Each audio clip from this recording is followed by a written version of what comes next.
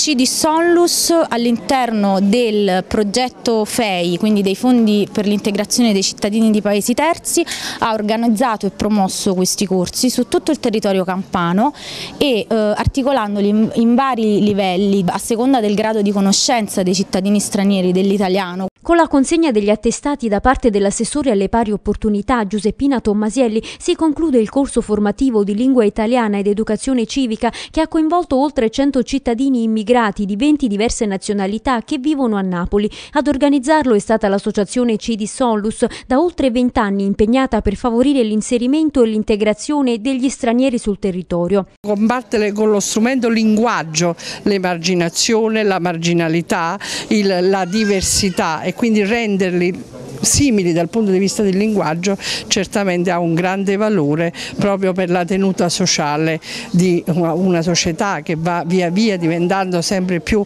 multietnica. Oltre ai corsisti, alla cerimonia in sala giunta hanno partecipato gli operatori e i docenti che li hanno accompagnati nel percorso di comprensione della lingua, fondamentale per l'esercizio dei diritti e delle regole del vivere comune. La conoscenza dell'italiano è la tappa principale dell'integrazione dei cittadini dei paesi, dei paesi terzi, proprio perché eh, attraverso la conoscenza dell'italiano si arriva poi a una, una consapevolezza anche dei propri diritti e doveri e quindi anche a una conoscenza conoscenza proprio dei, della cittadinanza attiva e una partecipazione sociale. L'evento si inserisce nell'ambito del progetto La lingua da scoprire che ha coinvolto anche gli alunni stranieri dell'Istituto Comprensivo Bovio Colletta.